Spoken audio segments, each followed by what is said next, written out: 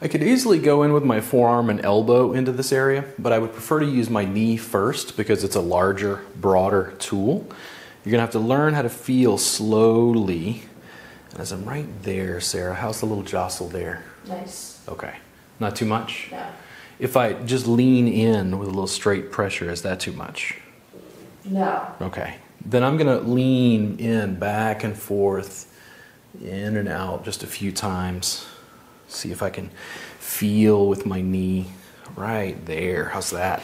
It's good. It's I changed the position on my right leg and you said it was a good spot? Mhm. I'm gonna right there.